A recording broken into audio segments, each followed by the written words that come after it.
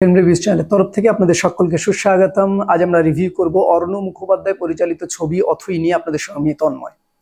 দেখুন, রিভিউতে যাওয়ার আগে প্রথমে ছোট্ট করে একটা ইন্ট্রোডাকশন দিয়ে দিই। সেক্ষেত্রে বলব যে উইলিয়াম শেক্সপিয়ারের গল্প অবলম্বনে বা নাটক অবলম্বনে তৈরি এই অথই সিনেমাটি। এই সিনেমাটি সিনেমা হওয়ার আগে কিন্তু থিয়েটার হিসাবে কিন্তু প্রথমে আসে এবং থিয়েটারে পরবর্তীকালে এটিকে সিনেমায় কনভার্ট করা নিয়ে তাদের মধ্যে বিভিন্ন চিন্তা ভাবনা থাকে এবং পরবর্তীকালে সেটি সিনেমায় কনভার্ট হয় এবং বর্তমানে আপনারা দেখতে পাচ্ছেন সেই সিনেমারই একটি রূপ আপনারা যেটি দেখছেন অথই হিসাবে। এবার যদি এই সিনেমাটি সম্পর্কে ছোট করে গল্প বলি, সেক্ষেত্রে দেখা যাবে যে অথইয়ের জীবনে যখন দিয়া আসলো, তারপর তার জীবনের কি কি পরিবর্তন হলো? অথইকে সেই গ্রামের মানুষ কেন মানে? এবং শুধু তাই নয় এখানে গোগো যে গেমটা করছে, সেই গেমের কারণ কি বা সেই গেমের জন্য তাদের জীবনে কি কি পরিবর্তন হচ্ছে, এটা জানতে গেলে আপনাদের সিনেমাটা দেখতে হবে। এবার এই সিনেমার যদি কাস্ট অ্যান্ড ক্রুর কথায় আসি, সেক্ষেত্রে প্রথমেই বলব যে এখানে ওথেলো চরিত্র অর্থাৎ অথই চরিত্রে আপনি দেখতে পাবেন, অর্ণ মুখোপাধ্যায়কে। এখানে দেশদিমনা তথা দিয়া চরিত্রে দেখতে পাবেন সোহিনী সরকারকে এবং এখানে ইয়াগো তথা গোগো চরিত্রে আপনারা দেখতে পাবেন অনির্বাণ ভট্টাচার্যকে। এবার যদি এই সিনেমার কিছু পজিটিভ এবং নেগেটিভ দিকের কথা আলোচনা করি, প্রথমেই যদি পজিটিভ দিকের কথা বলি, দেখুন কিছু, বেশ কিছু পজিটিভ দিক আছে এই সিনেমাতে এবং বেশ কিছু নেগেটিভ দিকও আছে। তো প্রথম পজিটিভ দিক হলো যে আমরা আগেই বলেছিলাম যে যখন আমরা এই টিজার বা ট্রেলার দেখেছিলাম, তখনই বলেছিলাম যে এই সিনেমাটি কিন্তু টেকনিক্যাল দিক দিয়ে অনেক উন্নত মানের হতে চলেছে এবং সত্যি সত্যি যারা আপনারা সিনেমাটা দেখেছেন, তারা বুঝতে পারবেন যে এই সিনেমা সত্যিকারের টেকনিক্যাল দিক দিয়ে অনেকটাই সাউন্ড আছে। মানে যেভাবে এখানে ফ্রেমিংগুলো ধরা হয়েছে, প্রত্যেকটি ফ্রেমিং কিন্তু বেশ ভালো। প্রত্যেকটি ফ্রেমিং এর মধ্যে দিয়ে আপনারা গল্পটা কিন্তু অনেকটাই ডিসকভার করতে পারবেন বা তাদের যে জার্নিটা সেটা কিন্তু বুঝতে পারবেন। কিছু কিছু জায়গায় ফ্রেমটাকে এমন ভাবে ধরা হয়েছে মানে ওয়ান থেকে কিছু কিছু ফ্রেম নেওয়া হয়েছে। যেখান থেকে আমরা দেখতে পাবেন যে অথই দেখছে মুকুলকে এবং সেখান থেকে গিয়ে সোজা ফ্রেমটা দাঁড়াচ্ছে দরজায়, সেখানে গোগোকে দেখতে পাবেন। পরবর্তীকালে আবার সেটা গিয়ে, আবার সেখান থেকে গিয়ে জানলায় মুকুলকে দেখানো হচ্ছে। যে এই এতগুলো চরিত্রকে একটা টেকের মধ্যে দিয়ে যেভাবে ধরা হয়েছে, সেই জায়গাগুলো কিন্তু খুব ভালো লাগে দেখতে। শুধু তাই নয় এই ছবির মধ্যে বেশ কিছু কিছু জায়গা আছে যেখানে আপনারা দেখতে পাবেন অন্ধকারের মধ্যে দুটি টর্চের খেলা চলছে এবং সেগুলো কালার পরিবর্তন হচ্ছে। এগুলোকে যেভাবে ধরা হয়েছে এবং তারপরেও শুধু নয় কিছু কিছু জায়গায় কল্পনা, বাস্তব এই বিষয়গুলোকে যেভাবে একসাথে এক ফ্রেমের মধ্যে ধরা হয়েছে এবং কালার চেঞ্জ করে করে সেই সিকোয়েন্সগুলোকে যেভাবে বোঝানো হচ্ছে সেই জায়গাগুলো কিন্তু খুব ভালো লাগে দেখতে জাস্ট এরপর টেকনিক্যাল পার্টের যদি আরেকটা দিক আছে, সেটা হচ্ছে এডিটিংয়ের কথা এডিটিংও কিন্তু খুব ভালো, কারণ এখানে বেশ কিছু কিছু জায়গায় আমি বললাম যে কিছু কিছু জায়গায় কল্পনার চিত্র এবং কিছু কিছু জায়গায় বাস্তব দৃশ্য এই দুটোকে মেলানো হয়েছে। কিছু কিছু জায়গায় তাদের পাস্ট ঘটনাগুলোকে দেখানো হয়েছে। সেই ঘটনাগুলোকে যেভাবে ফ্রেমিং করা হয়েছে। শুধু তাই নয়, এর মেকিং এ আপনারা দেখতে পাবেন যে কিছু কিছু জায়গায় থিয়েটারের যে অ্যাপ্রোচ অর্থাৎ ফোর্থ ওয়ালকে ব্রেক করার যে থিওরিটা সেই থিওরিটা কিন্তু এখানে অ্যাপ্লাই করা হয়েছে। ফলত সেই জায়গাগুলো কিন্তু খুব ভালো লাগে এবং কিছু কিছু জায়গায় জাম্প কাটের দৃশ্য করা আছে, সেই দৃশ্যগুলোকে এমনভাবে মেলানো হয়েছে এবং কালার গ্রেডিং দিয়ে তাদের ভিতরের যে দ্বন্দ্বটা সেটাকে যেভাবে ধরা হয়েছে, সেই জায়গাগুলো কিন্তু আপনাদেরকে খুব আনন্দ দেবে এবং খুবই সেই জায়গাগুলো বলব উন্নত মানের হয়েছে।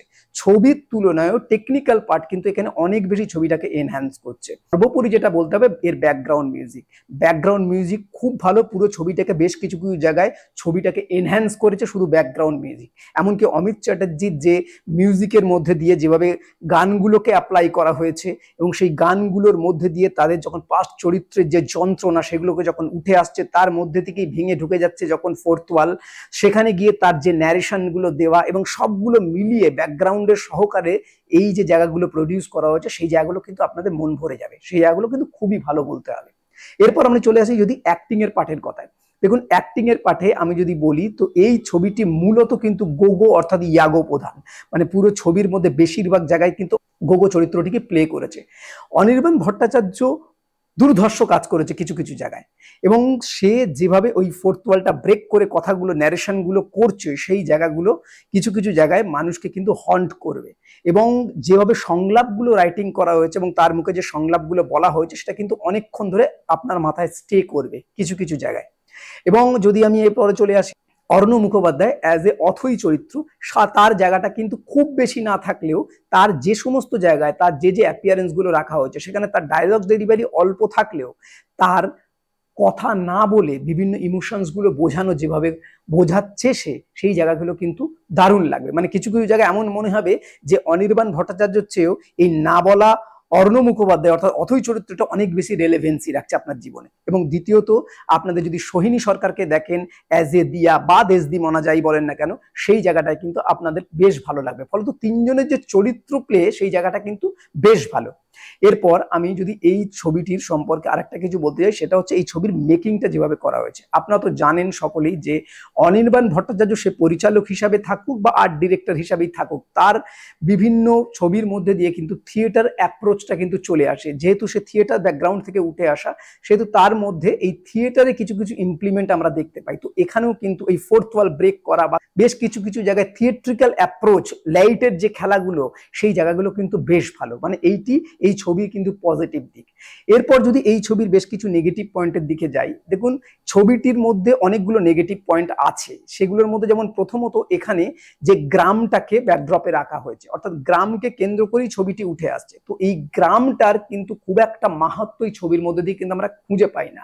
শুধু তাই নয়, এখানে ডক্টর প্রফেশনের দিকটা যেভাবে তুলে ধরা হয়েছে এবং সেখানে আমরা মুকুলকে কম্পাউন্ডার কম কম্পাউন্ডার হিসেবে বারবার বলতে শুনছি, কিন্তু এই কম্পাউন্ডার সে সত্যি কি? তা সে কি অথৈকে সাহায্য করতো তার ডাক্তারিতে? এবং সাহায্য করলে তাদের মধ্যে যে কেমিস্ট্রিটা কীভাবে বিল্ড আপ হলো, সেটাই কিন্তু পরিষ্কার করে ক্লিয়ার করা হয়নি। সেকেন্ডলি যদি বলি ওথেলো আর দেশদিমনার যে কেমিস্ট্রি অর্থাৎ অথই এবং দিয়ার যে কেমিস্ট্রি সেই জায়গাটা কিন্তু অনেকটা ধোঁয়াশা রয়েছে। মানে সেভাবে পরিস্ফুট করা হয়নি। আমি আগেই বলেছি যে এখানে অথই চরিত্রটাকে সেভাবে কিন্তু পোট্রে করা হয়নি, যতটা কিন্তু তার দরকার ছিল। কারণ এখানে পুরো ছবিটি দেখলে মনে হবে এটা হচ্ছে গোগো প্রধান একটি ছবি, অর্থাৎ ইয়াগো প্রধান একটি ছবি।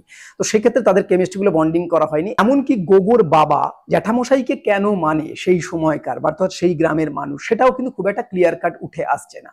তো এই এই বিষয়গুলো কিন্তু এইখানে খুব একটা বেশি আমাদেরকে কিন্তু গ্রহণযোগ্যতার জায়গায় নিয়ে যেতে পারে না। শুধু তাই নয় এছাড়া কিছু কিছু জায়গায় আপনার মনে হবে কিন্তু অতি নাটকীয়তা দোষে দুষ্ট এই ছবিটি। মানে প্রথম দিকে আপনারা দেখতে পাবেন যে অনির্বাণের কিছু কিছু জায়গার অভিনয় কিন্তু খুবই দুর্ধর্ষ। আর কিছু কিছু জায়গায় কিন্তু আপনাদের মনে হতেই পারে যে সেই জায়গায় কিন্তু অনেক লাউড অভিনয় করা হয়েছে। শুধুমাত্র যে অনির্বাণ শুধু নয়, বিভিন্ন চরিত্রগুলোর মধ্যে দিয়ে যেভাবে অ্যাপ্রোচগুলো নেওয়া হচ্ছে, বিশেষ করে মুকুল যখন বলছে যে গ্রাম থেকে গায়ক আনার কথা এবং তারপর তার যে হাঁটা চলাই পুরো ব্যাপারটা কিন্তু একটু লাউড এরকম প্রত্যেকটা চরিত্র যে কেন এরকম লাউড ব্যবহার করছে সেটা কিন্তু এই ছবির সাথে কিন্তু খুব একটা সাযুজ্যপূর্ণতা নয়, সেই জায়গাটা আপনাদের কিন্তু একটু খারাপ লাগলেও লাগতে পারে। এছাড়া যদি বলি যে এই ছবিটি কিন্তু অনেক বেশি একটু লেন্দি বলে মনে হতে পারে মানে প্রায় দু ঘণ্টা চল্লিশ মিনিটের ছবি, কিন্তু কোনো কোনো জায়গায় আপনাদের মনে হতে পারে ছবিটা কিন্তু লেন্দি করা হচ্ছে। প্রথম দিক যখন ছবিটি চালু হয়, তখন যেভাবে এসেছিল, যে ক্রিস্পি ওয়েতে এসেছিল, যে ফার্স্ট মানে অ্যাপ্রোচটা নিয়ে এসেছিল, সেই অ্যাপ্রোচটা কিন্তু শেষের দিক যত যেতে থাকে, সেই জায়গাটা কিন্তু একটু ড্র্যাক করতে থাকে। ফলে সেই জায়গাটা কিন্তু অনেক সময় মনোটোনাস একটা ফিল হতে পারে। এছাড়া আমি যদি বলি যে ওভারঅল ছবিটি কিন্তু ভালো। মানে যদি আমি ওভারঅল ছবিটি যদি সিনেম্যাটিক ওয়েতে দেখি, সেক্ষেত্রে কিন্তু ভালো।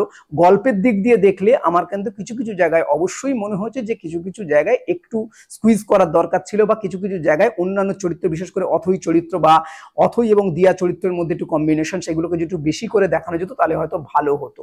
তো এই এই জায়গাগুলোই আমার কাছে মনে হয়েছে এই ছবির ভালো বা মন্দ। বাকিটা পুরোটাই আপনাদের উপর ডিপেন্ড করছে, কারণ আপনারা ছবি দেখার পরে এক একজনের ছবি দেখার এক এক রকম ধরন থাকে। কোনো কোনো ছবির অ্যাঙ্গেল কারোর হয়তো ভালো লেগে যেতে পারে, সেটা কিন্তু তার ব্যক্তিগত ব্যাপার। আমার কাছে যেগুলো মনে হয়েছে, আমি সেগুলো জানালাম। ছবিটা দেখার পর আপনাদের কেমন মনে হচ্ছে সেটা অবশ্যই আমাদের জানাবেন। তো এই হলো ওভারঅল রিভিউ এরকম আরও নতুন নতুন রিভিউ জানতে বেঙ্গলি ফিল্ম রিভিউজ দেখতে থাকুন।